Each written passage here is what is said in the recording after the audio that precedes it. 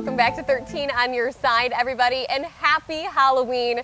We couldn't let Halloween go by without a little bit of extra spooky fun. Now, while some of you will be lighting your jack-o'-lanterns tonight, we have a little bit of a science twist on it.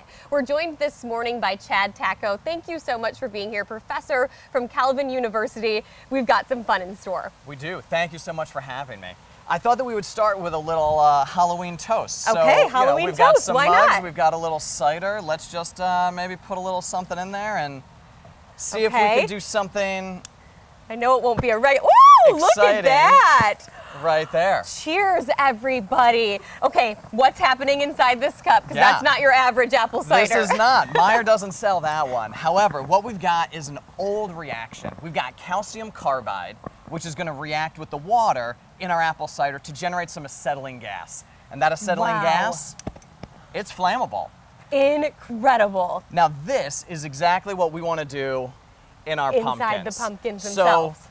I've got a couple of pumpkins. Okay. We've got some calcium carbide in there. Should we blow them up? I think we absolutely should give it a shot. All right. All right. Oh, I'm a little nervous, but how fun was that? Okay. All right, let's see if the magic of chemistry will save us right now here. All Okay. right, so I'm gonna take one lid off. You'll take the other lid off. Now I've just got some water here. Is there anything inside the pumpkin right now? Inside the pumpkin, there is a little bit of that calcium carbide. Okay. Yep. And once the water goes in, it'll start making some acetylene gas, and we'll see if we can uh, maybe finish our pumpkins here. okay. Sounds great. So this is kind of a fancy way to carve the pumpkin This out. This is our Lid on. lid on. Okay. Now we give it a minute, maybe a one, two, three. Let it stew. Are you ready? I'm ready. All right. Whoa! Oh my goodness! Extra explosive this morning. Yes. And, And so this is why we wear the safety goggles. this is safety Correct. first Yes. every time. Now we that do was this. incredible. We do this with our students. We do this with kids at Calvin. Yes.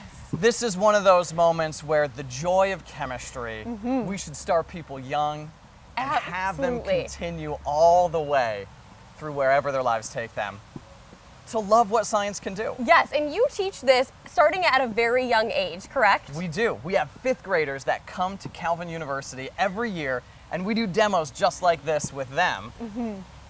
And then, hopefully, they come in as students at Calvin. We continue during their really hard studies.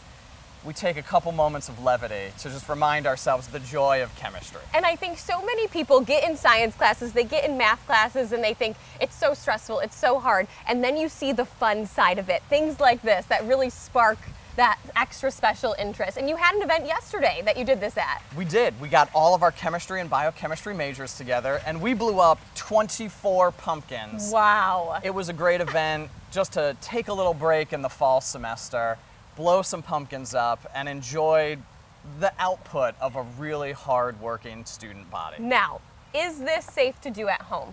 There is no way I would recommend you do this at home. Okay, we had to get that part out there. Thank you so much for being here with us this morning. What a fun way to kickstart our Halloween. We, of course, have more news and weather for you coming up.